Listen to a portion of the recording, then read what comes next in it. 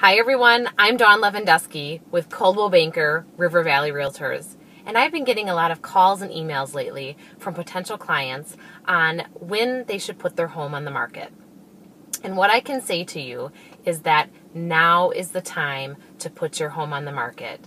The weather is nice. People are starting to, you know, clean out their garages and clean out their properties and say, "Oh, I need some more space," or, you know, life change changing events are happening. Um, people are getting married. People are having babies. You know, they need more bedrooms. They need more family room space. Uh, they just need more square footage. So people are out there. They're wanting to move, uh, and now is a great time to get your home on the market. You know, with the nicer weather, it makes it a lot easier to move, and uh, people are wanting to bump up and get things established before uh, it gets too close to school starting. A lot of families want to make sure that their uh, family is established in a, possibly a new school district. We're having people coming in and relocating for jobs in the area.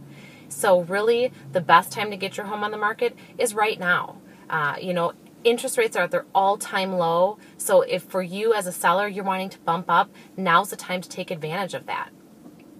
That's my tip of the day. If you have any other questions regarding this, please contact me at 608 526 9820 or you can email me at dawn at cbrivervalley.com.